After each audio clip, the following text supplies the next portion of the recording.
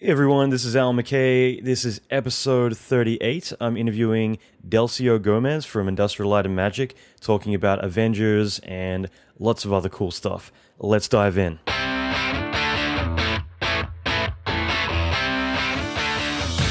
Welcome to the Allan McKay Podcast. Allan is an Emmy Award winning visual effects artist and mentor to many leading industry experts. Listen in as Allan talks with other industry leaders in film, video games, and visual effects about their experience, lessons, and methodology. Allan will teach you pivotal advice to fast track your career, better your skills, and reach your ultimate dream job. Check out the latest episodes on allanmckay.com. All right, I'll make this short and sweet. This episode is going to be a lot of fun. I'm interviewing a good friend of mine who works in the, as a uh, generalist, I should say. I was going to say the Digimatte department, but they've been kind of repurposed in the last two years, I'd say, at Industrial Light and Magic. Um, Delcio's worked on a lot of really cool projects from Oblivion through to Avengers, currently just wrapped on the new Terminator film, as well as a lot of other projects and super talented guy from Brazil. And we talk about a lot about what it takes to get into a place like ILM, as well as just more in general how to kind of build your career, how to break into the industry. Uh, a lot of really, really cool stuff. A lot of fun. Um, a couple of things I was mentioning. Industry drinks were last week, and that was in LA. That was a lot of fun getting to meet a lot of people that I hadn't actually met before, as well as a lot of friends of mine from DD and a few other uh, studios came along. Uh, Activision, a lot of beer and good times. I unfortunately had to duck out kind of early, uh, unfortunately, but next month we'll be doing it all over again. So if you want to check that out, just go to allanmckay.com slash drinks and finally, this month, June, is our first reel review. So this is going to be really cool. I'm teaming up with Todd Sheridan Perry, who is a Emmy Award winner, who worked on Lord of the Rings, has worked at Weta, uh, a lot of other big studios. Really talented guy who is a visual effects supervisor and typically reviews a lot of people's reels. Uh, I'll be teaming up with him, and the two of us together will be going through a lot of submitted reels and reviewing everyone's work giving feedback and just uh, talking one on one with a lot of people and giving a lot of advice for them. So, whether you're new to the industry or whether you just want to kind of polish up on your work, um, either way, uh, it's going to be a lot of fun. And even if you don't have anything to show. Uh, I think it'd be great to join. I think there's a lot of great information you can take just from observing. So feel free to come on as a spectator and check it out. So if you go to allanmckay.com slash reel review, so that's R E E L review.com. Uh, sorry, not dot .com, reel review. And I'm actually going to be putting up a domain uh, pretty soon for that, but I'll announce that on the next episode. So that is the other thing I wanted to mention is that in episode 39, which will be out next week, I'll be interviewing Alf Martin Levold, who is the creator of a new short film that just came out publicly today, which is Dawn of the Planet of the Zombies and the Killer Plants on some serious acid. Um, so, obviously, a bit of a, a, pun and parody, but this is a really brilliantly put together kind of uh, short film or um, trailer, I guess, but uh, it's something that he put together pretty much by himself over the past six or seven months. It just came out today. Uh, I'll put a link to this in the uh, notes if you want to check it out. So if you go to allanmckay.com slash 38, so 38, the numbers, um, you can check it out there. And I'll be interviewing him next episode. Um, I came across this a few weeks ago and I just saw a few like kind of work in progress um, versions of it. It looked amazing. And so I kind of been chatting to him a lot about this, just kind of really interested in seeing how this goes because it looks amazing. And I think that this is going to be uh, something very, very popular on the web for sure. And uh, yeah, so I will follow up with that. I've got a few really awesome interviews coming up, as well as a few other really cool announcements. So lots more to come. Uh, in the meantime, let's get into this episode. Hey everyone, this is Allan McKay. I'm here with Delcio Gomes, who's a good buddy of mine who's worked uh, both in Brazil as, as well as uh, more recently, the last couple of years, he's been working over in the States on a lot of really big projects. I'll let you, Delcio, do a bit of name dropping, but um, do you want to give a bit of a quick intro as to some of the stuff you've done? Um, yeah, sure. I worked on. Uh, you you want to know about the work, or you want to know what I've worked on. I Well, worked on well, okay. Most recent, I work on Terminator Genisys, which is not out yet. I Mm-hmm. worked on Avengers, the Age of Ultron, and uh, work on Halo with you. Mm-hmm. Um, and what else? A couple other projects. Thor. Um, I've got your Thor, IMDb in yeah, front Thor: of me. The so- Dark World. I'm If cheating. you- search my name. Uh, search my name on you know on Google, and Oblivion, you're gonna find everything Earth, that Beautiful. Creatures, Yeah, Prisoners. you have my you have my file open. Yeah, I told you I'm cheating. I've got your IMDb Oh, right in front of me. I actually forgot you're in Halo because it isn't on here. Oh yeah. Yeah. Um. So yeah, I mean, what's your background? Because I, I know at least initially when I first met you, you were more modeling, but I know the last time we worked together, um, you were definitely doing uh, more lighting and more generalist stuff too. So you're kind of transitioning, I guess, more Yeah. into that role. Blur was a scene assembler, right? Mhm. Um, yeah. So I'm Brazilian, and in Brazil, it's very rare that you're gonna see an artist that is just working specific in one t- one thing. So in Brazil, I was doing a little bit of everything. I was modeling, I was texturing, I was shading, I was animating, I was doing everything. And yeah, to to start in the industry in the United States, I did had to like be specialized in one thing, and that was modeling, um, especially hard surface. And it was an easy transition. Why I was actually on Pixomondo, I started like getting more into texture and then shading and then lighting and then at Blur I was doing everything and now I'm back to be just a generalist doing a little bit of everything. But uh, I'll, I'll just cut you off for a second to say that like um, ILM's version of a generalist though is a bit different though because it's more like originally the um, you you do like uh, God I'm drawing a blank at the moment. It's been a rough weekend. Um, but like ba- basically like the the there's a new version of generalist now, whereas before it was more you know you'd have the matte department and kind of it would kind of shift over into doing a lot of 3D, like especially 3ds Max stuff like that would be, it would all kind of fit into that category. So I think it's more recently been kind of redefined. Yeah.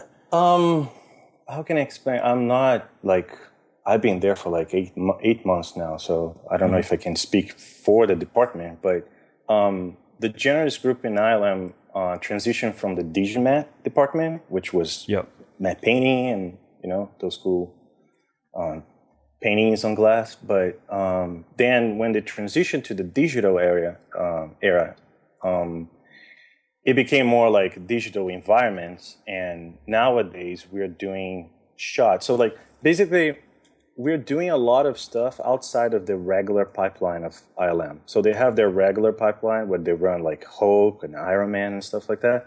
And we we can use softwares out of the box. So yeah, we are using 3D 3D Max and V-Ray, but there are also people using Clarisse. We're using anything that we can use outside the box to make the shot work. You know what I mean? And it's way So- more cost effective that way than, uh, yeah. yeah. Yeah. So, and especially like some some shots instead of having to hand something to a model and the model had to deal with the texture artist and the lighter um, i'm actually doing all of this and cutting the cost you know Mhm. um, of course i can't do that for like hulk but for some environments it's actually more yeah, very reliable this way you know whatever it takes, you know? yeah Yeah, that's cool. And um, I'm just kind of curious, actually. Um, so, I mean, you started from like initially, let's just say, being a generalist, but then you decided to define yourself as um, modeling initially to, you know, especially just transitioning over here, and then you kind of grow out of that again. And I'm just cur- kind of curious about this because I, I had like an industry drinks thing, which you got to come down for one of these. But I had one um, last uh, Friday, and it was it's kind of interesting talking to a few people who are modelers, and I've always got this opinion that like, uh, you know, I definitely think that when you're trying to get your foot in the door, it's definitely good to kind of pick something that's in high demand and low supply, but at the same time, like modeling something that you know, no matter what, it's a big necessity. Like if you take on rigging as a job, I think it's kind of shooting yourself in the foot a little bit because typically that's something that you'll come into the production, you're going to be around for a little bit, and then you kind of taper off. Whereas like modeling, lighting, animation, stuff like that, you're going to be needed throughout the whole production.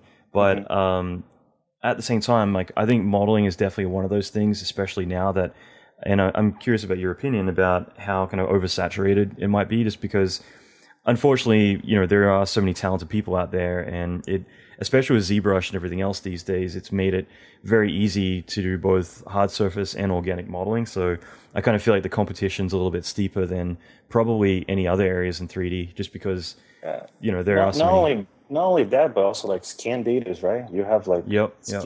just the scan data by itself. It helps you a lot. It, like it gives you like, but I, I guess like most of modelings now are if you don't have the scan data, is mod like something that's completely, um, completely imaginated, right? There's something that doesn't really exist in real life. But I agree, and a lot of stuff has been already. So we do buy like depending of like the model of a car it's it's way easier to just buy the model than actually you know pay one modeler to model everything Yep. Um yeah um that's why usually i actually tell people if you want to be a modeler try to at least understand other other things too. Like try to learn a little bit of texture try to learn a little bit of animation. You might fall in love with another area um, or at least it's going to help you to become a better modeler you know? Exactly. um, so yeah and also, also if there's any like downtime, then you know when Yeah. they when they start saying, okay, well, we're waiting for the next big project, we got to start laying people off. You know, Mm-hmm. if they say, you know, Allan or Delcio, like, can you also light? And you're like, yeah, I can. It's like, okay, great. Well, we'll get you to do some more stuff. But if you're like, no, all I can do is this one thing, then, Mm-hmm. um, you know, it's a lot harder for them to be able to place you. So, the yeah, I I, I definitely think you know having that core foundation in 3D is important. And I, I also just want to put out there that is there there is a big difference between sculpting and modeling for production. There is a big difference between like when you model uh, something for concepting, like you're trying to put out ideas and like approve a character or something like that. That's a totally different thing than actually in production. When you're modeling something, you need to worry about topology, you need to worry about your UVs, you know and uh, I just I just want to put that out there because a lot of people approach me uh, with nice sculptures from ZBrush, but um, you know you need to learn you need to know a little bit of the other side, like how to effectively put that into production. You know, you know Alessandro, Alessandro. Yeah, from yeah, yeah. yeah. I remember I saw him talking um, last year in Portugal, and he said like if they give me a task of twenty days uh, probably five days are going to spend like actually sculpting. The rest is like fixing topology, making sure that the animation is fluid, you know? Um, so I think that's very important for people who are starting. Th- that's a really good point, actually, because at the same time, like when let's say you're doing organic modeling, you need to take into consideration that this character is going to be deforming, and so you know you've got to put in a lot more work into like the shoulder, into the pelvis, into areas that are going to deform a lot because you might give it to an animator and they're going to say, you know, you didn't give enough geo in that area, and now we're getting like these hard pops and everything in the model. And that sort of thing come, up- comes up a lot. And again, the more experience you have, the more you'll understand like um, Yeah. what to expect. But yeah, You know, unfortunately, it's, a, it's something that you learn in the job. You, you learn after. I usually say that no matter how much tutorials you do, how much school you go, um, your first job is going to be where you're going to learn a lot, you know? So, Yeah, absolutely. yeah. Yeah, even like even uh, along the way, I think there's definitely studios you go to that um, you know you make these massive strides. And for me, you know, I remember the first big studio I ever worked for. Um, you know, I felt like I pretty much threw away everything I knew in the first two weeks of being there, just because you suddenly surround yourself with all these people that uh, are able to help you grow and kind of teach you, you know, their 20 years or 10 years of experience, and it kind of really grows on you. And yeah, I mean, for you, like, let's say transitioning into more lighting and being a generalist, and I know like you came from being a generalist, but let's say Blur or somewhere like that, where you kind of get introduced to like a, a big studio pipeline like that. Um, what was that experience like for you to kind of, um, you know, follow their method or their approach to doing all that kind of stuff? Um, it was Um, yeah, because you say Blur is a big studio, but now that I'm on ILM, Yeah. it's uh, yeah, it's very different, you know. Um, I feel like it's more of a big garage. You know what I mean? yeah, it, Yeah. It, it does have like um, you know they have a lot of tools and a lot of methods of how they work and stuff. Um, they are really good at like teaching that, so you learn pretty quick. Um, but again, I guess like once you learn um, the basics and the foundations of stuff on applying this and like the rules that that company use, you know, for applying this, is something that you you get on the jobs. Like you know, two three weeks, you're gonna be doing great uh, great work. You know. Um, yeah, it's just like you need to learn, you know, the foundation, and that that's the tricky part, you know. And um, because I came from Brazil, like, um, and um, I don't want to, I don't know if you want to go to like Brazil and how I started and stuff like that. I would but, love to go to Brazil. uh, man, man, you would love Brazil. People there would love you. We but we talk about it a lot. We we need to go at some point. Um, yeah, just don't go on Carnival. You're gonna be overwhelmed. Like it's just too much, you know, too much drinking for you. Yeah, yeah. But, we'll, we'll see um, about that. I, I just realized, like, I I think I already knew this, and I'm sure we've talked about it. But you're four days older than me. Am I? Yeah, because I'm May Oh. first, and you're um, May 26th, is it? Or I've lost it again. But I noticed that um, earlier that yeah, you're um, yeah, like same year and everything. That's why we get along so well, That's right. right? um, but actually, yeah. I mean, if you do want to jump into that, um, yeah, I Oh, mean, yeah. I'd love to know like how you got started and your experiences yeah, there yeah, compared to here. 'cause the reason I was like mentioning Brazil is because um, it all started like that. Like uh, um, back in the day, um, I was working in Brazil. You want the full story, or you want just the resume version? It was a cloudy day when when I was born. When my dad was born, Too much um, kisha- kishasa. I can't even say it. I still have that bottle, by the way. I, I've, I've been holding onto it, waiting for us to drink it together. okay, okay, Kishasa. I said Yeah. it. Okay. Yeah. cachaça. But um, yeah, so I studied graphic design in Brazil. Uh, back then, there was no like you know. Now I know that there is like animation and courses like for CG and for this area, but at that time there wasn't. So it was like I either go to architecture or design, graphic design. And in graphic design, I started learning animation, and that's how I got my first trainee um, trainee job.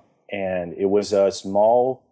Then that's why when you say small, blur is small. Like you need to see the companies in Brazil, man. We're just like us five in a room, and that was a company, you know. Yeah, Australia, at least, you know, when I was there, was the same way. Like, um, I think I think they're very similar in that respect. And you know, I I went there, started learning. At the time was 3D Max. Yeah, I was uh, 3D Max 2007, I guess, or 2008 or something like that. Um, yeah, and I was learning that, and um, it was mental ray at the time, and um, you know, it was good because I was learning all the foundations. Um, you know, I was going out and taking photos. I was understanding how light behaved You know, and I actually had like really good teachers at the time. Um, I like to say that I'm from the third generation of Brazilians who come to US to work on VFX. um, I don't know if you know him, but Chris Costa.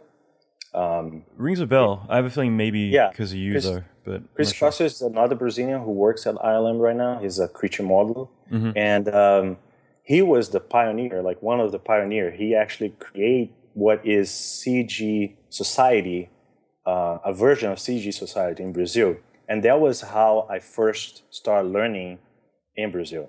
Right. Um, but because everything was in Portuguese and most of the cool stuff is actually in English, and I couldn't speak English, I decided to do an English um, course. I, I um, it's like a program that you come to US and you learn. You while you're learning, you also work, and uh, because most of the you know it's very frustrating when you want to learn when you want to learn a new software. What you usually do is go to the help, right? Right. But if the help is in another language, it's very complicated for you to understand, right? yeah. So, and you don't want to depend on someone who's going to translate that for you. You want to get from the source, right? Yeah, I- I'll just say that I've had a lot of people um, want to translate a lot of the work that I've done to other languages, and that's the thing is, you know, especially if they, let's say, they don't do what I do, then I would even feel more uncomfortable if I were to say, okay, let's translate like a lesson I did from English to Portuguese, and they're like, yeah, you click the grid and move the sphere to the the the, the point, uh, you know, and it doesn't make sense, but the Yeah. at least if they know the the, the tools, it's one thing, but it's still yeah, you kind of want to say, okay, well, give me two years. I'm gonna learn really bad Portuguese, and then I'm gonna try and Yeah, do it and, myself. and especially nowadays, right? It's not just about the video, the tutorial. It's about like the comment, comments and participating on the forum or like sending emails and asking questions, right? Yeah. You want to be able to do that, and uh, language is the first barrier. You know,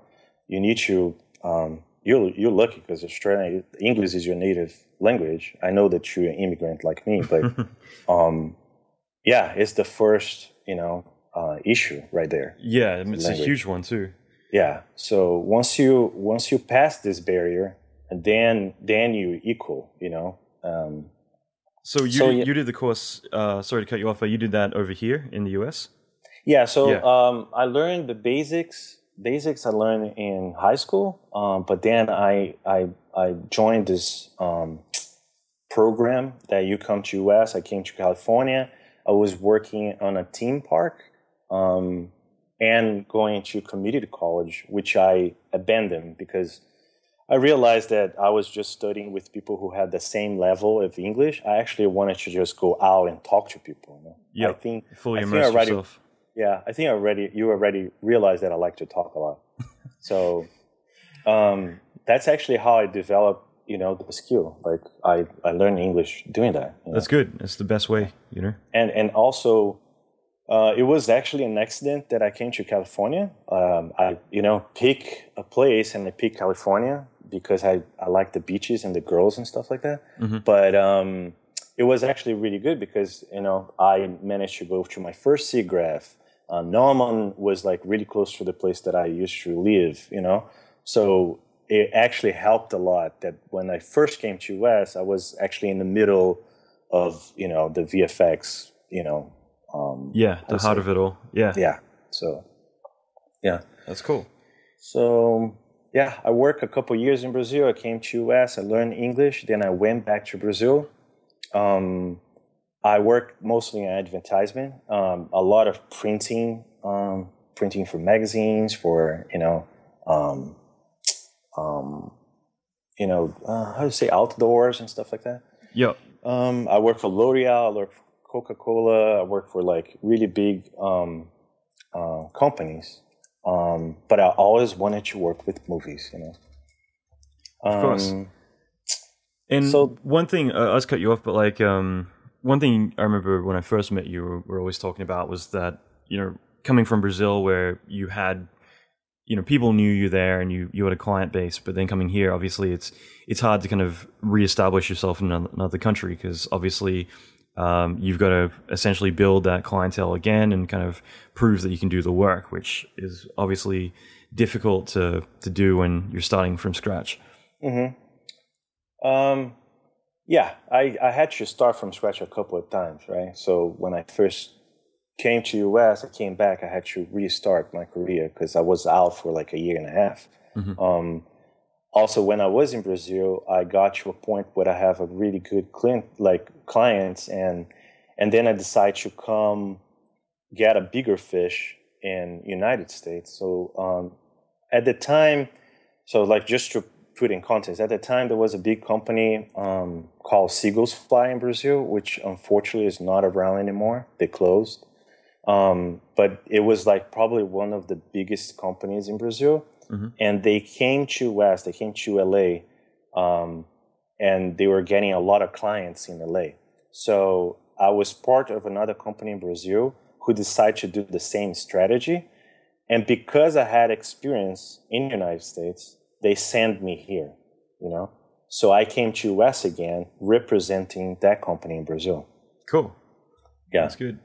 And So yeah, I mean, so I guess your first feature film when you kind of made the transition to that was Beautiful Creatures. Is that right? Yeah. Yeah. So yeah, after that, yeah, like jumping in time, I, yeah, I I decided to make the move from Advertise. I wasn't very happy with Advertise. It wasn't like challenging me anymore. So I decided to make the change to VFX. And um, of course, nobody knew me here. I I it was a young guy here, so I had to like I applied to a bunch of places, and you know, you know, Pixomondo at the time they were opening their new um, branch in Baton Rouge, and they're like, "Hey, you want to go there and like you know work there?" I'm like, "Sure." So yeah, I moved to Baton Rouge and stayed there for nine nine months, and that was my breaking into the industry. That's going to be pretty difficult too, because uh, for anyone who doesn't know, like you're obviously married, so like having, Yeah, um, you know, that that that's definitely one thing I guess uh, it is worthwhile mentioning is like we all kind of make those sacrifices where you've got to kind of chase the work at least initially. When in your case you've already built a career, but you've got to reestablish yourself here, and so having to travel and work in a different city, I mean that sort of stuff's got to be pretty brutal to um, to go through. But you yeah. know, Yeah. Um, yeah, it was tough. Um, we we talked a lot, and um, we thought it would be a good um, over over time would be the best thing to do, and and, and we were right, you know.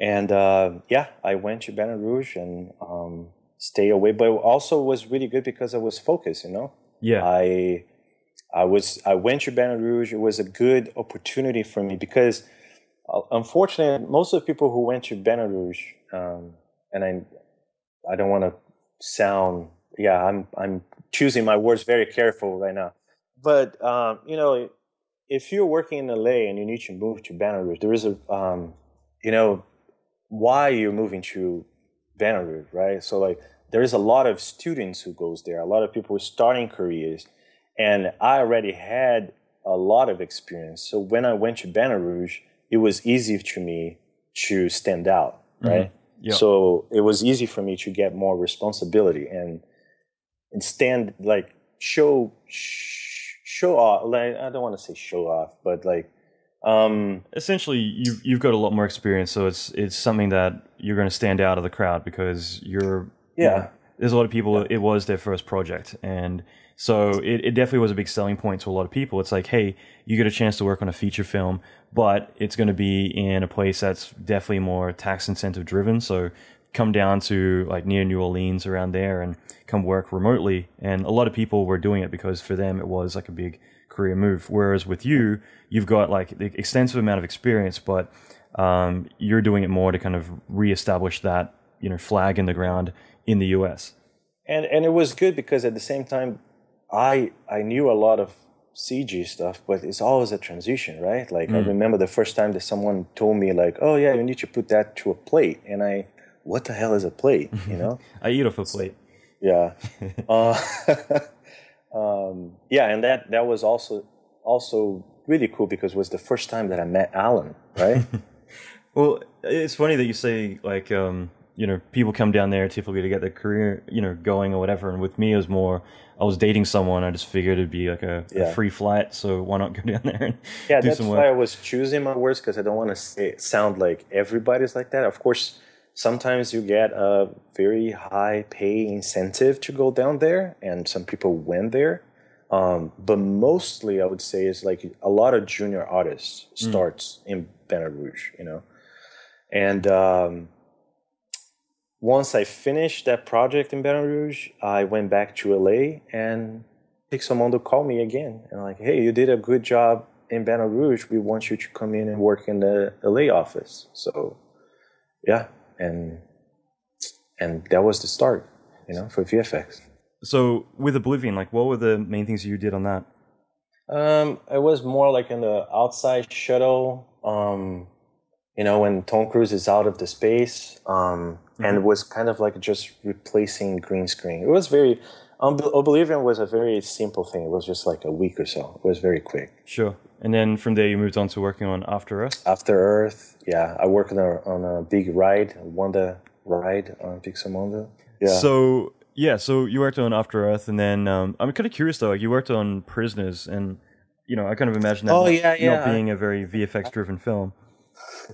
I went to I went to Luma after Pixomondo. I, I I went to Luma for a little bit. I worked on Thor, and in the middle, I think in between Thor and another commercial that we were working, there was um, so it was just replacing a piece of glass. There was a piece of glass in the hand of the actor. Uh, of course, it's too dangerous to have a piece of glass and they're fighting and stuff. Yeah. So we were replacing that pretty much. Um, yeah. Okay, cool. Yeah, I was just curious. I mean, it's kind of like Walking Dead. Um, you know, It's very yeah. Sorry. Nowadays is uh is the invisible invisible magic, right? We do a lot of shots that people don't even realize it's there. You know. Yeah. Well, it's good though. I mean, you know, it's a, it's a necessity, but um, that's cool. And I, I guess I am kind of going through your whole, you know, uh, work history at the moment. But I mean, Hmm. I, I guess at that point, like you went to Blur, and Yeah, Halo, so- Halo was a pretty interesting project. I mean, for a lot of reasons, but um, Especially because I re reunited with you. yeah, first first day I was sitting by you, yeah, I was like, wow, what a surprise. I, I, I'm actually going to try and see if I can find. Um, I think there's photos of us in Baton Rouge uh, doing our Wasabi showdown, where we literally got like, I don't know, it was like six centimeters square of each of uh, wasabi, like a big chunk. Anyway, And you lost. but yeah, I, I lost. for, for anyone who doesn't know, you're you're a big guy too, which um, I find hilarious because like you're the kind of person that if you sit at a computer, just because I don't know, what are you like six four or something? You're I'm six three, yeah. yeah, and um, yeah, like you kind of make it looks like you're gonna break a mouse if you go to like touch the. Um, Yeah, I no. Everybody who knows me, uh, I look a little scary, but no, I'm I'm soft inside. I'm very mild. Yeah. um, so yeah, you went to Blur. We ended up sitting next to each other, and then get all the ladders. I think uh, based on sequences in the right places. But uh, yeah, I mean, what was your experience like there? Because uh, I know that you really loved your experience there, and you're there Yeah. quite late, quite often. Yeah, I, I, man, like I always wanted to work at Blur. You know, I've been following their work for a long time.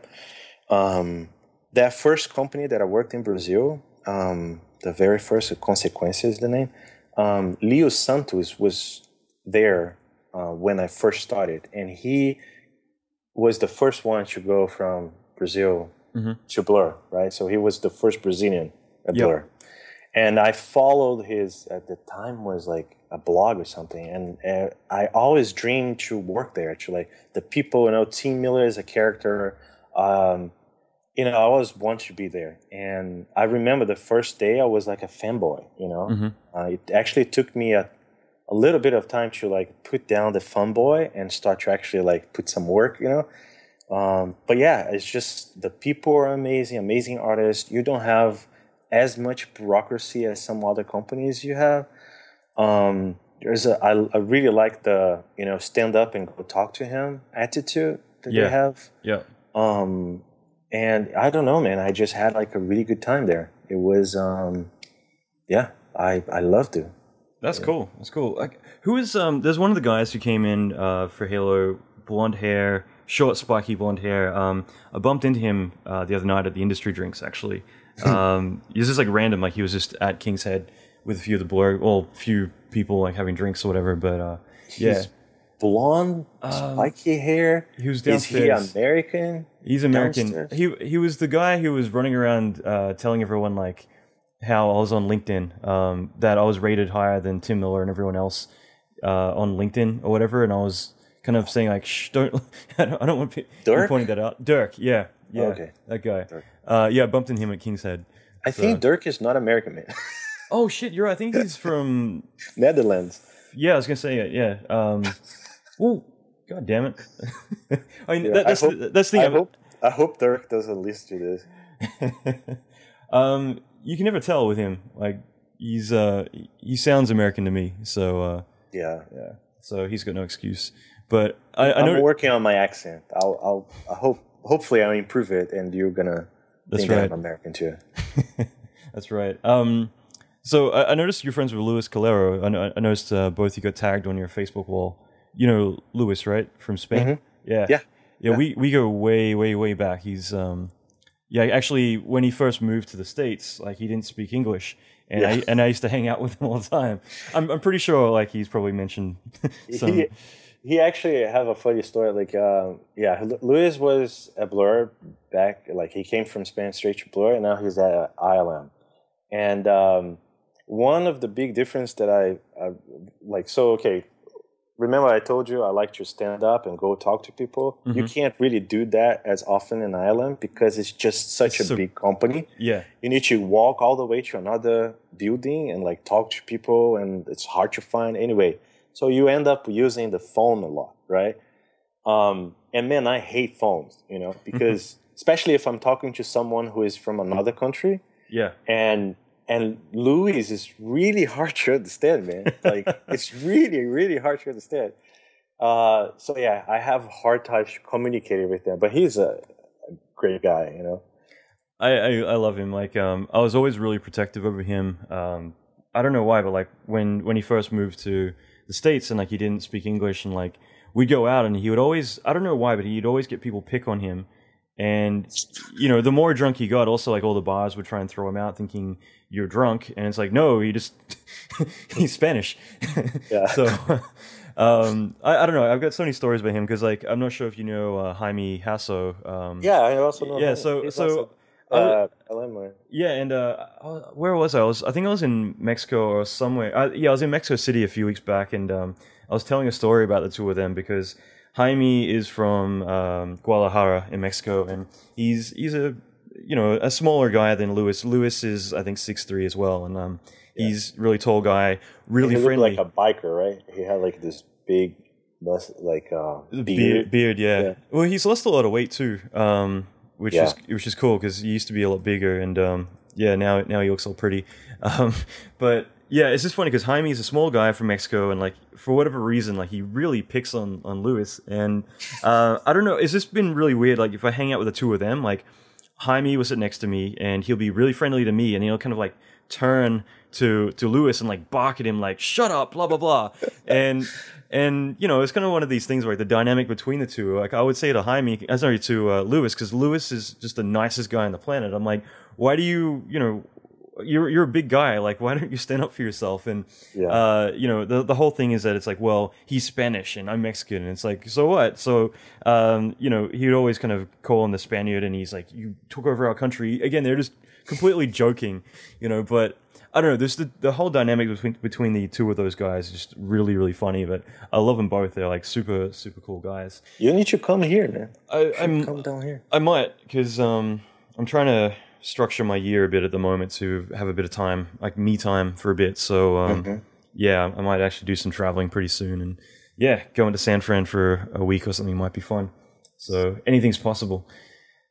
and um so that's really cool and like I guess um like I haven't seen you since you went to ILM. So I mean, what was it like moving to uh because you went to Trojan, the conference over in Portugal. Yes. And, yeah, it um, was a crazy month. Like I went from Blur. I finished my work at Blur. Um, I went to the conference. I spent like five days there and came back to San Francisco and started at ILM. Yeah. What was your crazy. first week like doing, you know, going from training and Yeah, it's very it's very mild. The first week you're just like trying to set up your stuff, understand the tools, right? And, like understand like the procedures, and you have like classes about like um, security and you know Mhm. set up your message, your, your voice message. Um, yeah, it's very it's very like um, you know a big company kind of feel, you know. yeah. Um, the harder part is like San Francisco is crazy right now about like renting and stuff. That was that was uh, expensive or. Yeah, yeah, it's just crazy expensive, man. It's really hard to to live in the city right now. It's like, so Awesome. you sold your house? um, yeah, I saw I used park in San Francisco. Yeah, But- I sold because financially was the best time to sell. You sell when it's high, right? Yeah. But um, Would have been yeah. handy to move back to San Fran and, you know, just walk Yeah. back into your old place though. And now I'm waiting for the prices to go low again so I can buy again. So I'm living on rent right now. Mhm.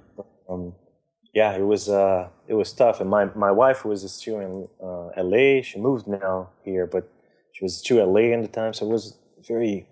Uh, but it was it was I was excited because not only because of ILM, but uh, you know I was working on Avengers, and I'm a, a big comic book you know guy. So yeah. So what was it like? I mean, you know, what were the main kind of contributions you made to uh, Avengers two? Um, so I I was working. I worked mostly on the end uh, of the movie mm-hmm. where you watch the movie. Are yeah. we allowed to give spoilers of the movie? Yeah, yeah, it's totally fine. Everyone on the planet seen Avengers two. Okay, so in the end of the movie, there's this big city, Sokovia, who uh, rise into the sky, mm-hmm. and I was involved into developing the the asset and you know scene assembling that. Uh, not all the scenes, like a lot of shots it's all divided, right? Some shots we're doing here in San Francisco, some shots we're doing in Vancouver, but the asset, the bottom of the plug, I was kind of responsible for that, you know. Yeah. And uh, was a big, it was quite a big responsibility. I wasn't expecting that, but it was fun. Like now that I look back, it was fun. That's cool. And like, how many shots do you think you turned out in however long you had on the project? Um, so my shots, I did like 12 shots, I think. Um, of course, there's like longer shots and very quick shots. Um, but there's a lot of stuff that I, even though like it, people were even making fun of that, like the plug, the city was kind of like my baby. Mm-hmm. So even though like Vancouver was doing some stuff, I had to like deal with them and give them feedback or like passing them stuff. And, you know, it's kind of a, it was it was a lot to do, man. You have no idea. well, that's cool though, and um, I don't Dealing know. With the creature dev, you know, a lot of like simulation, breaking buildings, breaking rocks, and like put that into our scene, rendering that. Like it was. What was the was, typical pipeline for doing something like that? I mean, obviously, you know, you're dealing with the effects guys who are doing all the simulation stuff, but mm-hmm. what was? So, yeah, the sorry. simulation they were doing on. Um, some some guys were doing Zeno, some guys were doing Houdini, mm-hmm. um, and we were de- dealing the whole time with Alembic caches. Right. Um, and yeah, I can't go into. I don't know if I get in trouble if I go into too much details, but yeah, we were. So 3D Max, we would model stuff in 3D Max, pass down to like Houdini guys who would break it and make it look cool, like the simulations and stuff, and. Uh, and then I would bring it back the Alembic caches, uh, reapply the textures and stuff, light it, and render. Mm-hmm. Cool. So initially, you would, you know, it's kind of like a boomerang. You initially do all the development, then you hand it over to them. They do their stuff, then you bring that stuff back into your shot. Yeah. Yeah. Cool. And uh, what was like the biggest challenges you found personally on Avengers? Um, the the bigger challenge, I think it's funny because while I was working on Avengers, I thought there was a lot going on. The the caches, once you're working on the city and stuff, you have it under control. But once we passed by, to the effects guy, the creature dev guys, and the guys were breaking everything, the size of the files were getting ginormous, right? So it was quite complicated to render. But I had I had the same problem in Terminator, and I think it was even worse. Like I think I hit like uh, I would say 800 million polys in one scene. Wow. Yeah, and I had no idea Max could do that. Of course, like a lot of reference, a lot of yeah. But yeah, at, in the farm, it actually loads everything. I was surprised that you know. I was really, I was really jealous that you guys got to use Max because the whole time I was there, I used Zeno, and um, yeah, I don't know. I, I personally just never got into it. I could uh, one of the like Florian Schroeder, no, sorry, it's um, what uh, Florian Witzel. Um, he's uh, I think a CG super over there, but like he was always like, Allan, like you gotta come back because what I don't know why, but like if you if you leave ILM and then you come back, Zeno just makes sense all of a sudden. so that was his theory. He's like, trust me, like I left and I came back and it all makes sense. And I'm like, I don't know. so um, I don't know. Like it, it's it's definitely uh, one of those like love hate relationships for me. But um, but yeah, so, so you guys all got to use Max, and I, I, was like, ah, if if only. Yeah, but it, yeah, um, we use Max. There's a group of people now using Clarisse that seems um, very promising. Mm-hmm. Um, yeah, we use like anything that we can do the job faster. You know. Yeah, well, that's cool, man. And um, I don't know, like for you, kind of moving back there, I mean, do you think that's where you're going to stay for a long time, or do you see yourself moving again? Um, I I'm definitely learning a lot. I don't know because it's a big company. I think at some point I might go back to a smaller company. There's always like, I there's. Can I confess something? sure, Every buddy. day, man, I wake up. I think about like letting let it go, go back to Brazil and become a fisherman and have a good life. You know? Hey, I, I would join you. Yeah, just like you know, simple job, just like a beautiful view every morning. But no, I I, I do want to stay as much as I can in ILM. It's been like um, a great opportunity. I feel I feel in, like lucky to be there. Mm-hmm. Um, and it's funny because I I worked really hard throughout the years. I worked really hard to get there, you know. And then you realize once you get there, you work even harder to stay there because there's so many bright minds there. There's so many good people that you can learn so much, and you just want to, you know, Yeah. learn more and work more. And yeah, it's a great place to be. I think it's a great environment to be in. Like, you know, any place that you can find that is like that, where, you know, you leave your ego at the door because, I mean, everyone who's there, obviously, you know, Knows their shit. yeah. So, you know, you all go there, you all just do the best you can, and, you know, you try and learn off of each other. And, um, Yeah. that, And it- sorry, go ahead.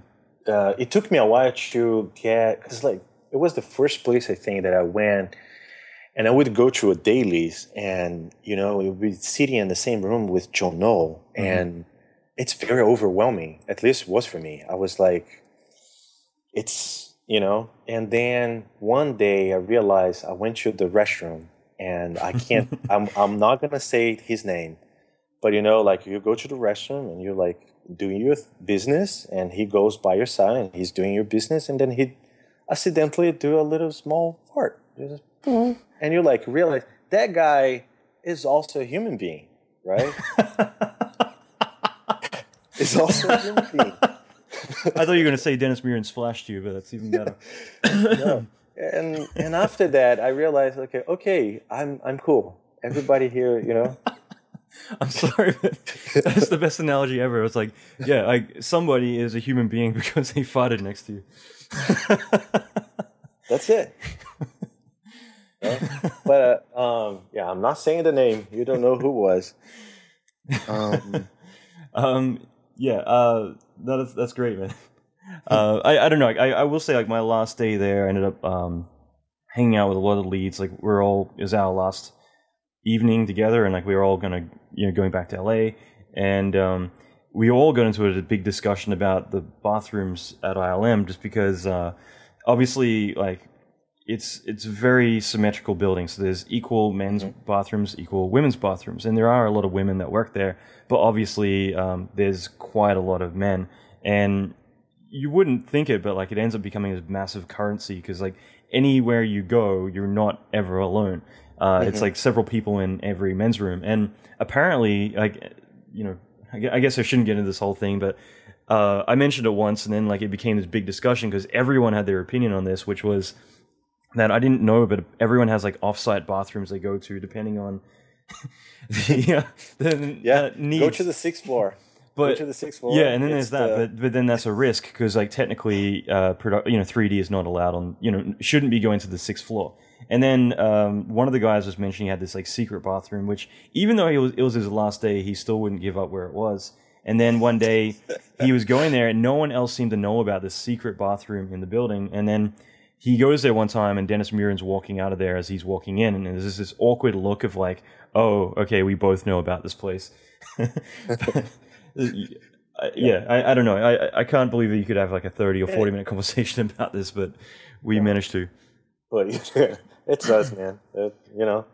Um, but yeah, um, it's it's a big, big company, you know, and everything is different. Like the amount, uh, I'm, you know, especially for me coming from Blur, where you know every Friday we would go out and have drinks. Every every like day or like you know a couple of days in a week we would go out and have lunch. You know.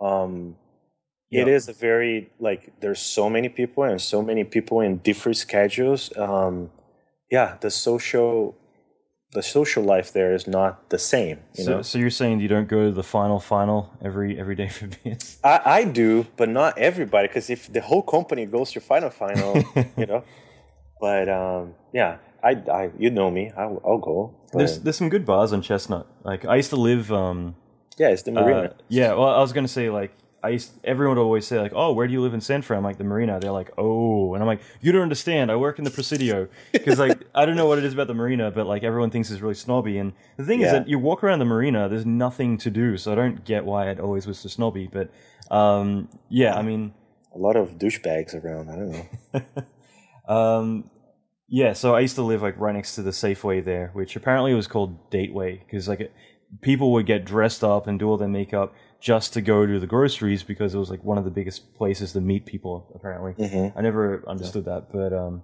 yeah, so I used to live like right off of Chestnut, and it was it was cool because there's a lot of good bars around there, which I enjoyed, obviously. yeah and really good food too yeah, Yeah. So, but uh, but um yeah it's just it's just tricky you know like sometimes in order to actually like get a group of people to go out it usually happens when someone is leaving or someone's birthday Mm-hmm. but in the day to day a lot of people go to the commons area but it's Yeah. not the same it's another feel you know it's a big company you have the big meetings you have the the theater is ginormous you know to accommodate everybody it's um yeah I I will say that about ILM. Like, um, for me, I felt like it was the best employer I ever had in terms of um, perks and everything else. Like, I, I felt like, you know, even though it isn't a very personable company in terms of there isn't, you know, you you literally need to learn to ask people for help and to meet people because it's kind of like daycare. You just get dropped off, and then it's like, okay, what do I do? And um, you're gonna learn to actually go and like speak to people, but. Uh, At the same time, like that place, there's so many perks. They definitely make it enjoyable for family, for friends, and you know, it, there's a lot to it. So I think that um, you know, it's definitely enjoyable in that respect. No, yeah, and it's still even though it's a big company, it's still a big company made um, from artists. I think most of the people high up there were artists before, and um, they really take care of you. You know, like I don't know if when you're there, uh, you're there a long time ago, right? Yeah, it was about five or six years ago, I think. Five, six years. Yeah. You have your your your manager, right? So like you have like um, a person that you can talk. Like it's it, she's on your side, so you can tell them whatever you want. Like, hey, this is not working. I need this to, and they will help you. You know, they're on your side. And um, it, it's funny because some smaller company they don't have that. You, I worked in smaller companies that you could not have voice. You know, Yeah. and um, yeah, it, it makes you feel like even though it's a bigger company, you do have voice. You know, it you do. It's it's a bigger company. There is like more emails, more meetings, more phone calls, but um, Wasn't that what ILM stands for? I love Yeah, meetings. I love meetings. but um, but it works. They they they manage to make like good work, and people there, even though they are very smart and very very talented, they they don't have ego. So like you can walk into a VFX you know artist that I'm big fan of their work, you know, and just just walk by and you like talk to them, and they're gonna be very receptive. It's it's Mhm. it's really cool. Yeah. Yeah, that's great, man. That's really cool. Um, yeah, and I don't know, like for you, like I guess if you were to have like one or two like big key takeaways you've had so far, I mean, has there any, has there been anything you've kind of learned from being there, like that? Is, Oh man, I learn every week. I but what are some of the big things that for you have kind of been big game changers?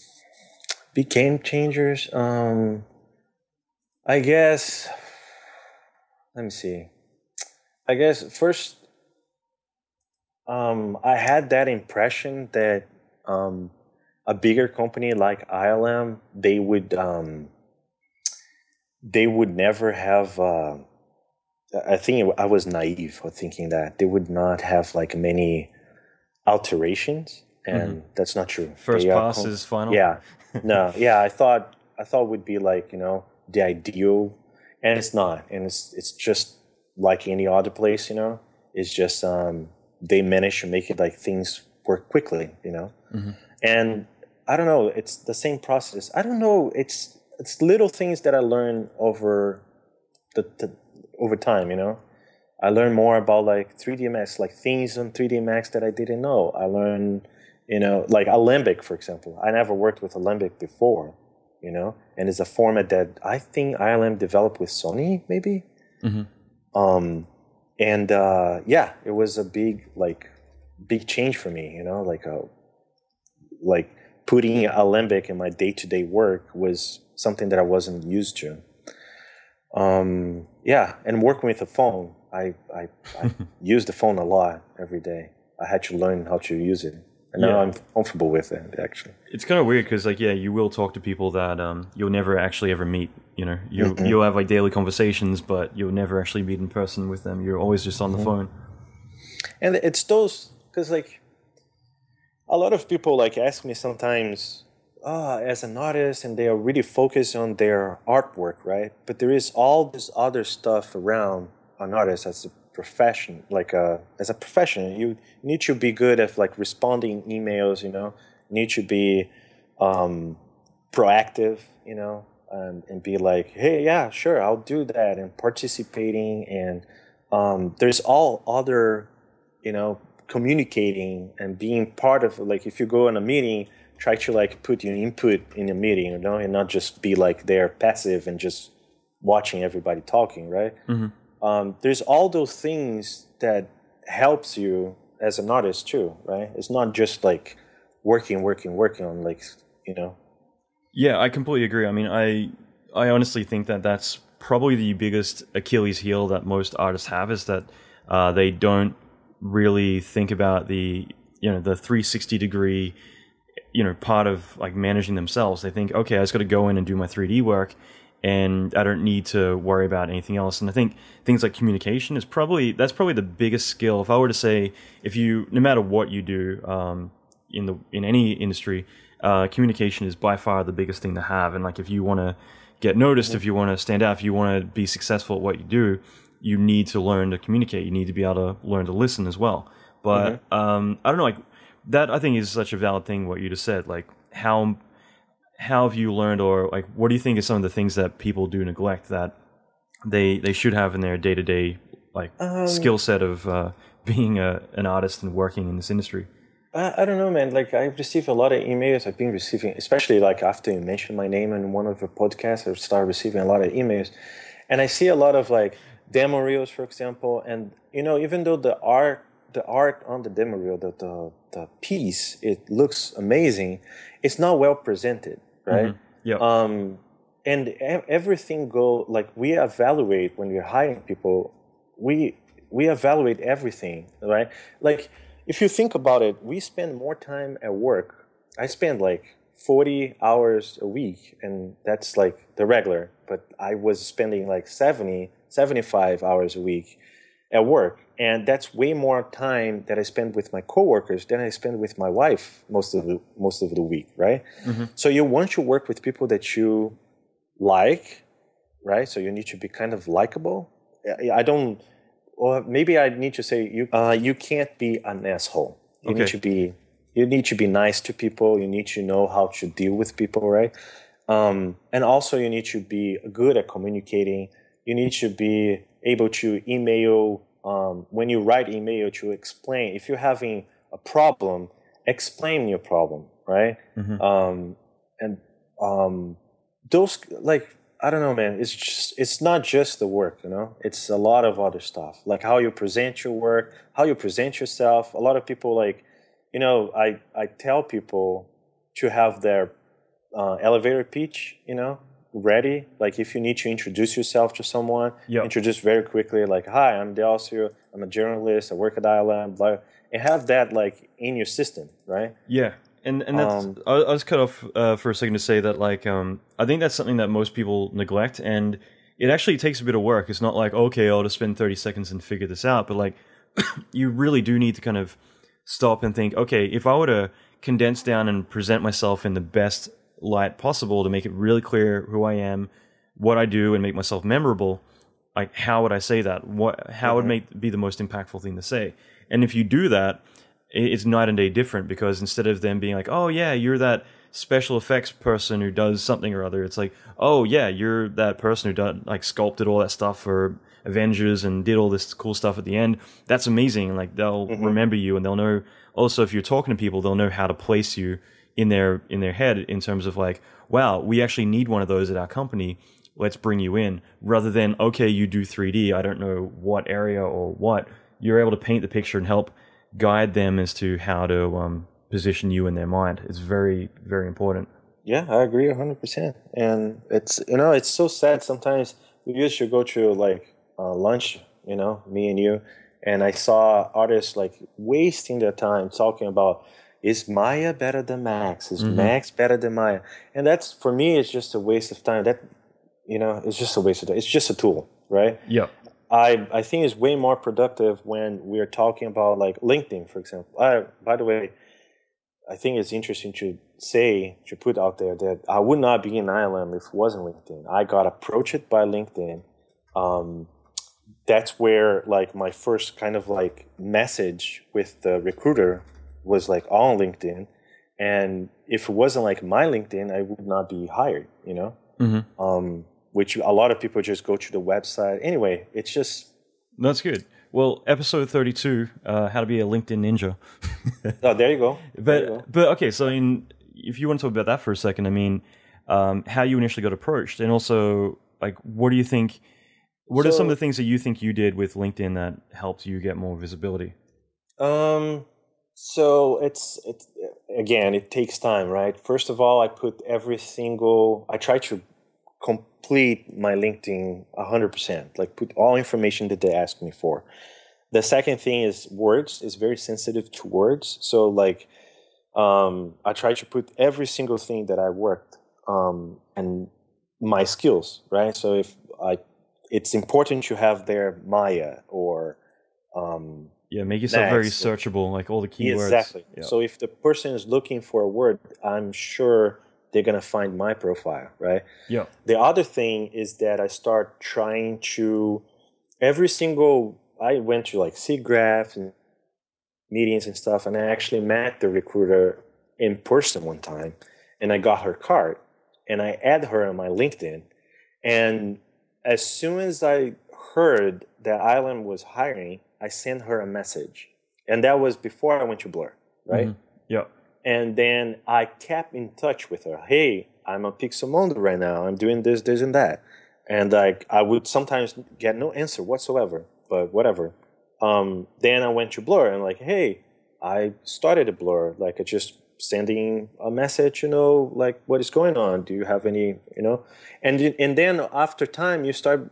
Of course, you're not going to be a pain in- the ass, you know, Yeah. asking, you know, but you try to create like a relationship and try to become memorable, right? Exactly. Um, and that was all through LinkedIn. And then when the opportunity came and they have like an opening, she she sent me a message like, "Hey, we want to talk to you. Um, are you available? Can we talk on the phone?" So I spoke with, on the phone with her, and then I did an interview, and there you go. And so the the whole process took like eight months. Mhm. You know. But that's good. I mean, that's like a really important thing. I think most people don't get is that you got to look at the long term. You got to build those relationships, and and whether it's just one place or it's many places, you got to do that and not expect a result right away. And the thing is too is that yeah, you're you're absolutely right. You don't be harassy. You know, you don't keep saying hey hey hey what's up. But it is important to kind of keep that kind of um, you know keep it it fresh in their mind like who you are so that way when it does you know be an opportunity you respect the fact that they're busy but as long as they they're aware of who you are then you know you're creating that opportunity and it's really important Yeah, and uh, keep it professional, keep it um, short, right? Because those people are usually like very busy, busy. Exactly. And, uh, yeah, and it's a lot of work. It's a lot of work. You have to answer a lot of emails. Be very, you know, um, responsive, like right away. Don't like wait, you know. And uh, and a lot of like I try many places. I tried Naughty Dog. I tried Blizzard. I try, you know, it's um, I still have their contacts. I still like send message once in a while, and it's all about like networking. It's just like creating, you know, um, making connections. You know, that's that's what it is. You know, and if I came from Brazil and I make those connections, anybody can do it. there you go Uh, and I'm just kind of curious, like, um, what was your interview experience like? You know, was it over the phone? Um, the first interview was more like just I, I think I had Susumu. I yeah, the first interview was very mild. It was very. Uh, the second interview, they were like looking at my demo reel and making all those questions. And um, the big tip I can give to people is to be through to your work and because a, a lot of people know, like everybody knows each other. So if you haven't if you haven't worked on something, don't say that you work on that thing. You know, Yep, yep. be very true for what you know. What you did in that scene, I did this, this, and that. You know, and Yep. be very. So, oh, did you you do this matte painting? No, no, that was another guy. I but I did this and this and that. Like, be very truthful for what you did. You know. Yeah, and humble too. Um, Yeah. and yeah, you're right. Because I mean, that's one of the things too is that it's very easy. Like you look at some of the stuff like 2012, where everybody like you know has it on their reel because everyone worked on 2012, and um, so That become kind of the joke on a blur, right? yeah, well, at a lot of places, I think just because, especially in Max, like um, a lot of the LA sequence was, you know, you'd have like 20, 30 people on a single shot, and you'd have that on your reel. Uh, I know a lot of people did where, you know, you would look at that and you'd be like, oh, well, I thought so and so did that shot. And if you're not clear specifically about what you did, then you know it's it's one of those things you just don't want to ever trigger any kind of warning bells in someone's head where they're like, oh, I don't know about this guy because I know so and so did that shot and he's saying that he did it. So you got to be very clear. Like, look, I did, you know, the dust or or the fog or you know whatever the lens flare. You know, um, if you're clear about that, you're distinguishing, you know, what you did, and it makes you a lot more legit. And if you're just like, yeah, I did did it all, or you're not clear about it, it's it does kind of raise some alarms, which you know can cause problems down the line. So yeah, it's really important. That's good, man. I think that's really good advice to have. Um, I think a lot of people would benefit from. And I don't know. I mean, you know, just kind of on that subject. I mean, I think for LinkedIn, I think that's like a, a really good, you know, thing to kind of touch on because I still think a lot of people either don't understand uh, how to use LinkedIn efficiently for what they're trying to do, or they just kind of imagine, okay, if I just get on LinkedIn, then I'll get job offers every day, and it's not the case at all. It's it's about being proactive. Yeah, it's not. It's yeah. You're not gonna get. Um, yeah, it's not.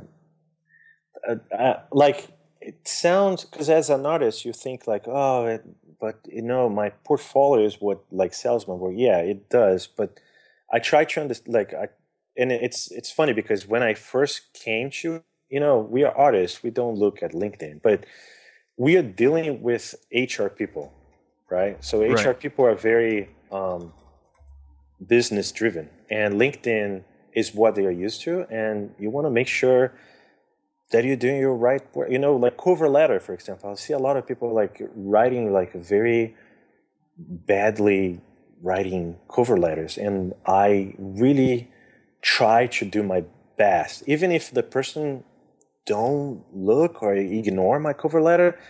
It's there. If they look, it's going to be good. and it's you the first thing that they will look at and it kind of um, de- describes like for for me i look at a lot of reels and i'm you know i'm not gonna click on someone's reel unless i, I know what you know whether or not it's it's worth my time and like it's more about you you just need to understand that people are busy and if you're looking at a lot of reels you need to kind of set the tone you need to do a lot of things and the cover letter is a really good way to be able to set exactly what you know it's it's kind of like if if you're about to watch a movie and the the first 5 minutes is really going to set the tone of like what you're watching and whether you know you're prepared for it or whether you don't give a shit. And if you are able to in the first paragraph say okay like this is who I am because like if if you don't even make it clear exactly what you are like if you say I'm a generalist but you don't really go into specifics about whether you're doing lighting or environments or everything then they start looking at a reel they're like well I don't know what you did. Uh, so what am I looking for here? Um, you know, so if you were you're able to make it all clear and paint the image in your head, And, know. and um, one thing that I'm gonna add is like you need to tailor your every time you apply to a place. I always tailored my cover letter, my not a cover letter is obvious, but like my resume, right, mm-hmm. and Yeah. my demo reel. Depending on the place that I would apply, I actually would change my demo reel just for that place because if I'm applying for a lighting position, they don't want to see models and you know or you know effects tasks that I did like they or animation. They want to see lighting. Yeah. So I would tailor my demo reel to apply to that position, right? And I think it's very important because I yes I do have a general demo reel that I keep on my website, but I would I would create like several demo reels for like specific positions. Yeah. Um, I think it's really good to say it. And, you know, that's not always going to be the case, but um, I do think if you're in a position where you can do that, then, yeah, you know, you want to make the biggest impact possible. And, and and of course if, depending on the company right like if you're working for like commercials and like you want to Like- show everything. yeah you want to show everything i'm saying for like you're applying for pixar for animation like don't show The blood and the guts and. yeah right so you need to yeah you got Yeah. it Yeah, uh, but that, that's good. I mean, and the thing is too is that I always say it's it's better to have not shown enough than to have shown too much. And you know, in that situation, like you can always say, "This is specifically my lighting reel." But if you're interested in seeing you know more of my work, you can check out my other reels on my site. And um, Yeah.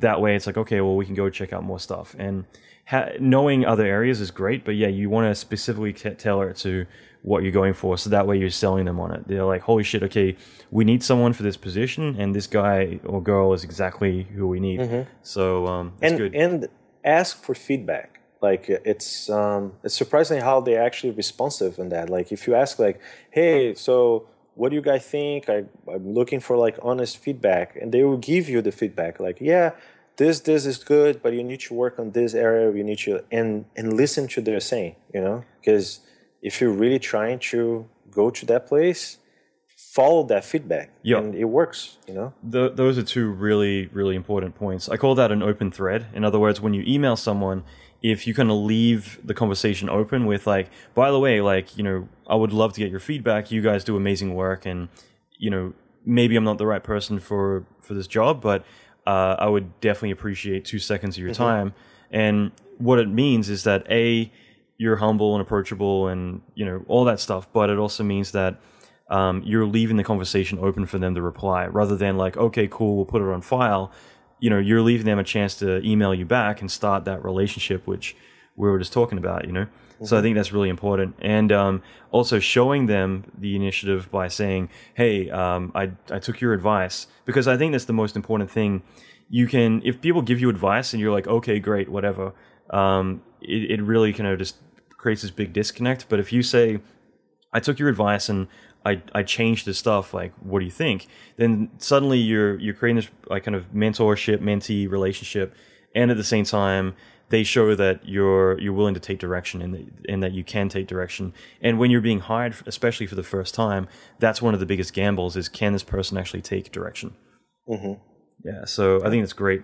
Really good advice. don't yeah don't you see a lot of young but i see a lot of young guys and this i think this you you get with experience right Mm-hmm. once you start a job dude like my job at ilm i'm doing what they want right we're all working for a client right Yep. um yeah i i might think that this shot would be better this i might propose like hey why shouldn't we but in the end of the day i'm doing what the client wants Mhm. and you know That's it.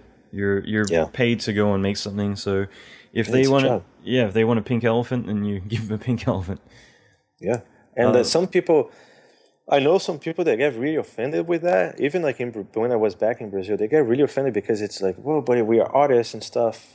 And yeah, I agree, but it's uh, um, it's part of the job, right? We're doing something for our client. Like, um, yeah, man, don't argue with people. Don't do that. That was yeah. I, I I think I mentioned it a few times, but I remember at ILM, I the one of the first dailies I went to with um, Dennis Muren, and yeah, there was someone in there who was talking back. Um, you know, when when he's being given direction, he's kind of talking back like, "Hey, well, you don't get it. The reason I did this is because of this," and it's kind of like, okay, like you know, your supervisor's telling you he wants changes, and also he's someone who probably knows what he wants because he's been, you know, one of the key people who pretty much invented visual effects. So maybe you should, you know, write it down and say, okay, I got it. so uh, yeah, I, uh, I just I interviewed Fred Ruff, I think the last episode, and um, he made a good point, um, or second last episode about you know not pushing back on your notes. In other words, like people give you feedback, then you say yes, and if you have some great way to add to it, awesome. But just saying like no, I don't want to make changes, or you know you're an idiot and I'm right and you're wrong, then that's never going to work out well for you. Mhm. Yeah. Yeah, and uh, that's why I think it's also important.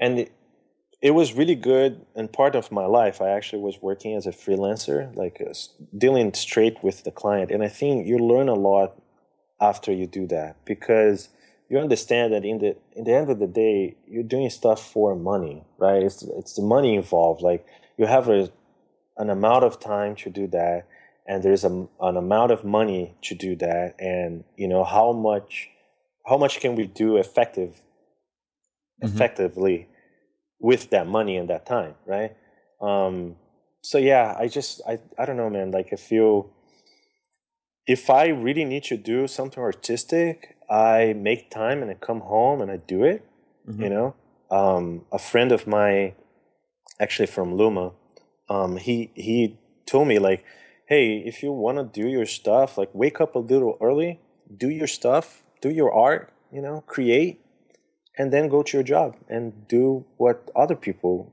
want you know and Yep. You're, Yeah. You're there to provide a service for someone else's vision, not yours. And, Mm-hmm. uh, you know, down the line, maybe that'll change. But, uh, yeah, I mean, I think it's important because at least the big benefit is if you're easy to cooperate with, if people feel Mm-hmm. like, yeah, like they, this person listens, they make changes, they do everything I ask them to do, that's going to keep you around. Um, The more that you are able to work with a team and be able to just follow direction, the more people will want to work with you more. and of course it's not like i you know i, I want to make the shot because like i have the mentality that if i do good work on my shot i can actually present that shot later on and that will give me more work right Yep. so it's not like i don't want to make the shot look like awesome i do but you need to pick your battles you can't like be fighting for you know Exactly. otherwise you know nobody's gonna go anywhere so yeah That's good. And I'm kind of curious, like, where do you want to go, like, long term? I mean, do you have any? Um, I want to go to your apartment and play pinball. No, uh, oh, uh, arcade. arcade. Yeah. yeah, I was just talking about it this morning. I was like, because I haven't had a chance to. I, I I'm not neglecting it. I every day I, I bought this arcade machine, and uh, every day I look at it. I'm like, I want to play it. I just don't have time, and I'm trying to find time. So one of these days, you and me are going to be playing Double Dragon. It's going to Yeah. be great. But when when I go there, I want to be playing for like an amount of hour, like crazy amount of hour. I don't want to be and get drunk. Oh yeah, beer, cachaça, and pizza. no, no diet for us. Sure, and ice cream.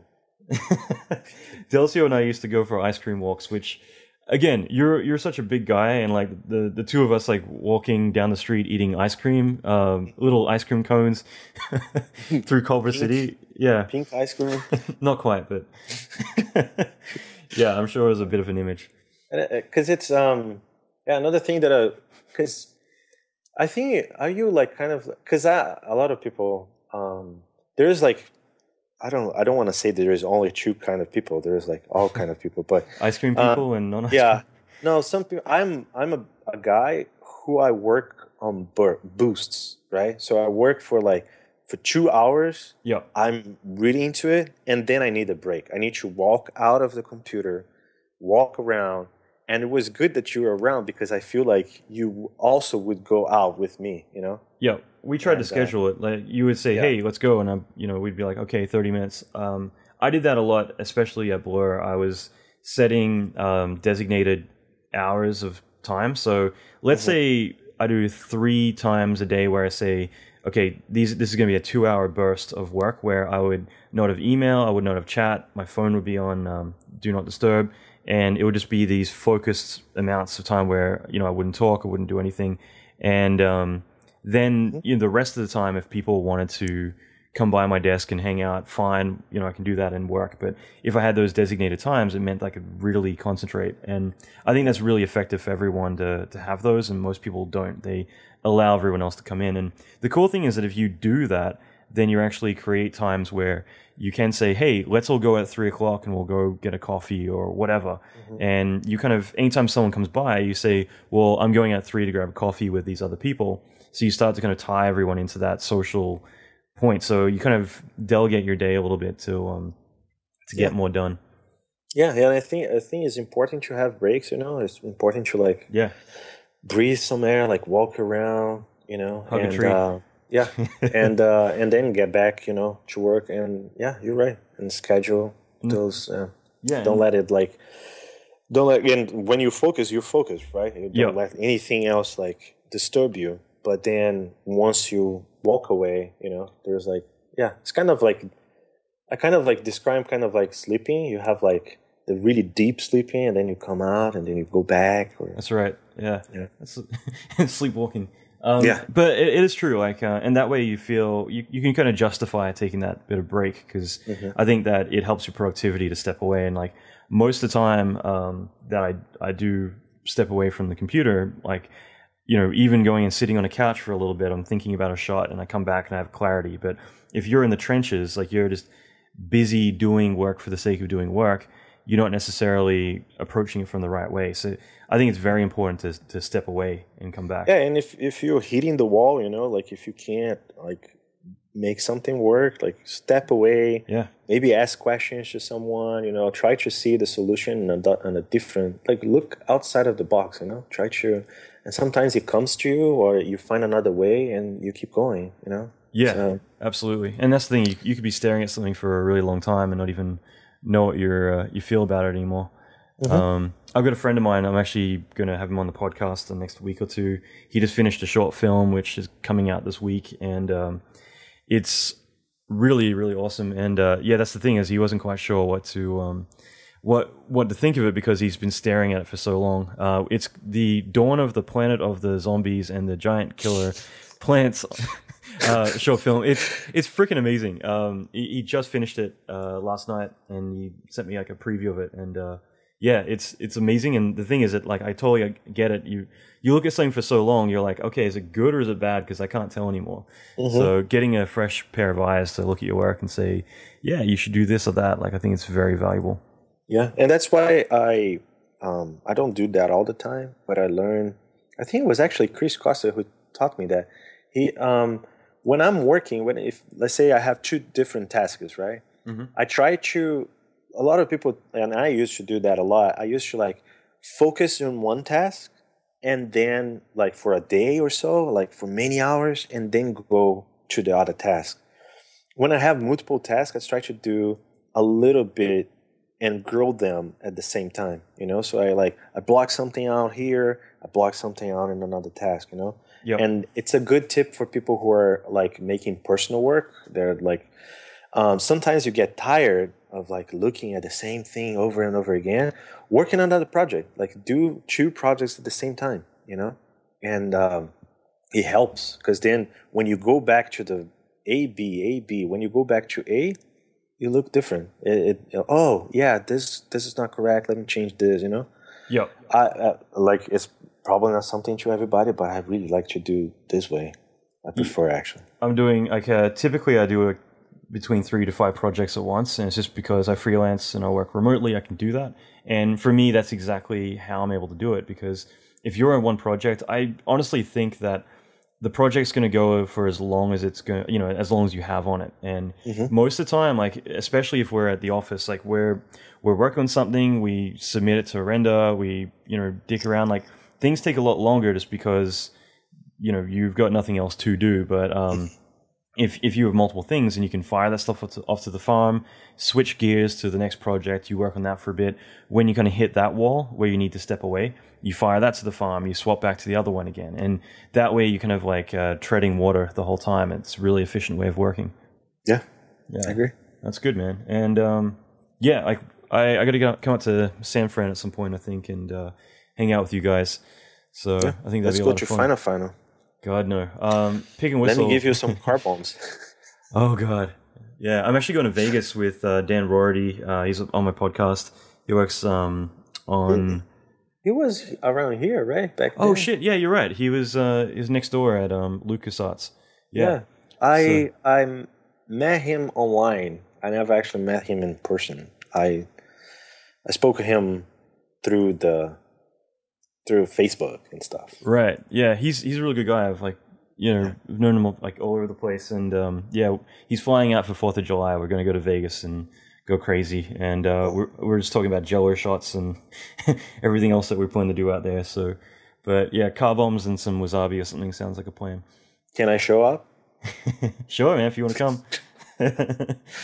um, but yeah, man, this has been great. I mean, it's just been fun to kind of hang out because it's like I said, I haven't spoken to you since Yeah. you you went to uh, to ILM, so it's kind of been good to kind of catch up. And um, I might have to come up there, and you know, especially because there's so many people I know at ILM right now, so just be a good family reunion, I think for for all of us. Yeah. Um yeah, just stop by, man. I'm pretty sure you you you probably not gonna be interested in doing the the whole tour thing, right? It's just gonna be, you know, straight to the bar, right? Uh, unless I want some free food from the, the kitchen or something. um, actually, I, I will say that like, uh, that's one thing I loved about ILM was that it's one of the, the very few offices I've worked at where every day you, it's kind of like you walk around. It's just cool to see all the um, the maquettes and all the statues and all the Yeah. other cool on set stuff. So I mean, it's just it's cool. Like it's you know, there's never a day where you don't appreciate that.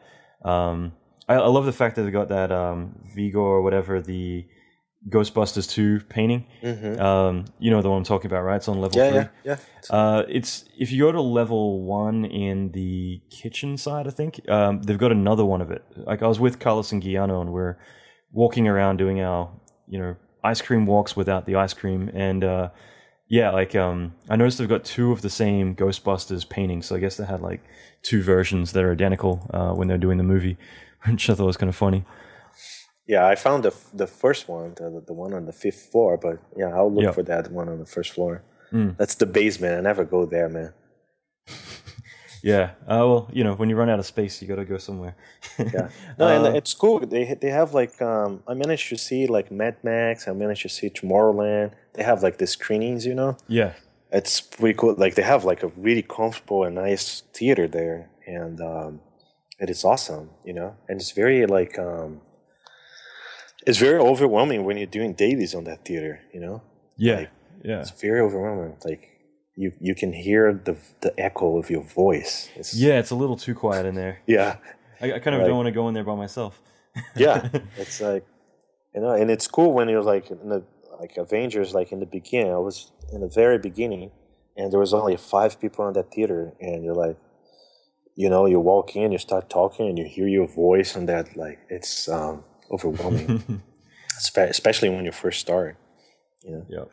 it is awesome. Like a lot of people, a lot tourists, like every day on on the Yoda fountain and asking to take photos. One one of my like, I think on the second week, I was actually walking from the the the fountain, and I was walking in, and this um, lady, like probably like forty something, she came to me and like, "Hey, you work here?" And I'm like, "Yeah." Um, how much? And I'm like, "What? How much? What? How much for you to make me a tour?" And like, nah, it doesn't work like that, man. Like, I'm sorry, I can't. No, I, ju- I just want to go to the store. And I'm like, nah, I'm sorry, security, please. It's awkward. Did you did you hear about that? That um, uh, what was it? There was a person who was charging like um, out on eBay. They were selling essentially tickets to come get tours of ILM, and they were yeah. Um, How much did it cost?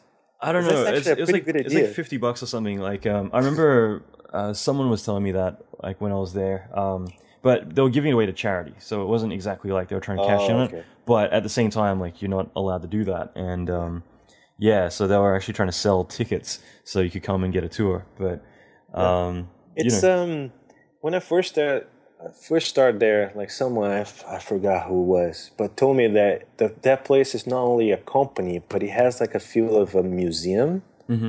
you know, such kind of thing, and also kind of like uh, uh because of probably because of the campus, how like you know has the nice outside area and stuff. It reminds you like a university, right? Yeah, and sure. you have all the classes and stuff. So it's kind of a blend between a university, a museum, and a, a business place. You know. Yeah, it's it's definitely got a lot of history to it, and you know, it's yeah. I mean, you know, you walk around, you see celebrities in the um, in the gift store buying like a, a cool little T-shirt or, or a book or whatever. And especially especially now with the Star the whole Star Wars coming, um, Yeah. yeah, there's a lot of people there, man, just taking photos with Yoda. Mm-hmm. Uh, when I was there, someone, um, I think it was an employee, but uh, I'm not sure, if, uh, 100% sure, but like we were working one weekend on Airbender and Iron Man, and um, someone like made the, the the fountain foam, so it started like it was all foaming and overflowing, and uh, yeah, so I don't know, like it was a really big deal at the time. I was like, you know, people were not happy about it, but yeah, it was like it was foaming and overflowing everywhere with Yoda, you know, in the middle of it all. So Funny. So you work on Iron Man? Uh, I I didn't I worked on the Last Airbender, which Okay. um, probably has like the worst. Like at, at least when I was there, it was the mm, the the messiest kind of project I think in history, just because it was a pretty overwhelming uh, project and it kind of changed direction many times. So um, yeah, I but you know a lot of guys were on Iron Man two, like James Bennett, Carl Singiano. Um, they were both on Iron Man 2, um, working on that, which again, like that was changing directions a lot of the time as well. So, um, yeah, so I don't know. It was, it was interesting. I was originally meant to go there for Transformers 2 and uh, at the time, what had been offered to me was more of an effects lead position. And that, the, the only, probably the only thing in my entire career I ever regret is turning that down because, um, I basically, the way I justified it was that I was in Vancouver and I'd been to California a thousand times. I'd never been to Europe, and I got offered to go work on 2012 in Europe, and I ended up taking a job in um, in Berlin, which ended up being like the the biggest nightmare project I've ever experienced in my life, and it took me six months to get over it. Um, it's just yeah, I burned out big time, and it was just a disaster. And meanwhile, like this other job would have been so great, and I kind of feel like when I did go to ILM, I was still burned out from um, that project. So because it was the next project I did, and um, I don't know. So it was it was interesting. Um, first time I ever spoke to ILM, they called me out, out of the blue. I was in Australia, and I got a random call, and um, I think it was Laurie or yeah, I think one of the girls, and like she she was just like, hey, like you know, are you interested in coming to work for ILM? And I was really hungover. Um, like really, As always. it was the it was one of the worst times to call me and like I I could not even put words together so she basically did the whole pitch about like hey we're calling from L- uh, from, from San Fran like we want you to come to ILM well, are you interested? And the only word I could get out was no because I was so hungover. And she was like oh okay.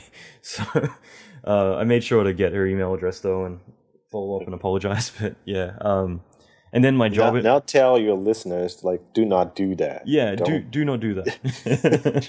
uh, yeah, it was just the worst timing ever. Is one of those like, yeah, probably not the best best time to answer the phone is when you're feeling like crap and uh, you don't recognize the number. But um, yeah, so you know, um, Iron Man two and Airbender. I mean, at the time, like Plume had just come out, which was their um, you know their software for doing fluids, and it was kind of cool just going to see them um, developing that and kind of seeing all the groundbreaking stuff they were doing. So yeah. And, and I'm sorry, man. Like, I'm trying to talk about ILM, but I'm I honestly don't know how much can I talk about, especially like tools and stuff. You know, Yeah.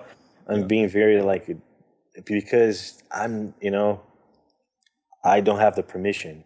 No, well, you know, uh, anything I'm mentioning is all public knowledge, and everything you've mentioned is, um, you know, all general stuff anyway. So I mean, you're not saying anything uh, crazy, but um, no, it's good. I mean, I think that you know, with anywhere, especially somewhere that is a pretty public company, I mean, it's good to be respectful of, um, you know, what you can and can't say. So no, it's good. Uh, totally And understand. man. A lot of times I know I know stuff that's only coming to the theater in a, in a couple months, and I'm like, oh shit, I want to tell someone, and Yeah. I can't. Like, Yeah, I would- I would love to pick your brain about that Yeah. project, but um, yeah, another. and I'm glad. August. I'm glad, for example, you haven't asked anything about Star Wars, like, and you know, we're not supposed to talk about it. It's like you know, kind of like Fight Club kind of thing. the first rule of Star Wars is you do not talk about. not talk about. Yeah. Um, It's it's it's being. I, I guess I can say that it's being such a secret project that even internally, it's a secret. You know what I mean? one or two things I'll just quickly add to it. Like, you know, if if there was someone who wanted to target like a bigger place like Weta, ILM, um, what would be some key advice you would say if you wanted to, you know, stand out or find a way to get the upper hand when when going to a place like that? I don't know, man. I guess like be nice to people. I guess don't be a dick. I guess that would be my my big yeah. Because you know nobody like people who are very. I think be humble. You know, don't don't don't walk the room. And you know, it's only for ILM and big companies. I guess it's for every company, right? You mm-hmm. don't want you don't want to have to deal with someone who thinks they know the shit. You know, and even if you know the shit, be humble. It's like it's impressive. Sometimes you actually learn you learn a lot from people who are like very junior that just mm-hmm. came out of school and stuff but maybe maybe they had access to a new technology that you haven't heard of yet you know? Yeah. so just be humble like be open to cheat, teach and people will teach you too and you you know it's a big group of like learning you know? And that's what i like. That's what i'm passionate about you know? I'm very curious and i like to learn and i like to teach also and show what i know and you show me what you know and you know and get ice cream when we have extra time It's all about the ice cream. yeah Cool, man. Uh, this is great. It's uh, good to talk to you, man, and thank you. Um, but yeah, uh, let's let's catch up soon. I'll come up to San Fran and we'll get some ice cream and some beer. yeah looking forward thanks Thank you. for thanks for the opportunity man like uh really appreciate it was a good talk Thank you, brother. All right, so that was really awesome. I'd love to get your comments and feedback about this interview. So if you want to go to www.allanmckay.com slash 38, so the number 38, and I'd love to hear uh, what you thought and anything you want to say to Delcio. I'm sure he'd love to hear as well. Lastly, as I mentioned before, you can check out the reel review coming up on June 16. If you go to allanmckay.com slash real review, R E E L review, and that will be something really, really awesome. So, again, uh, next episode is going to be an interview with Alf Martin Lavold, and that's on his new short film trailer um, that is just come out today, and you can check that out in the show notes. Uh, and that's it. So, thanks again for listening, and I'll be back soon.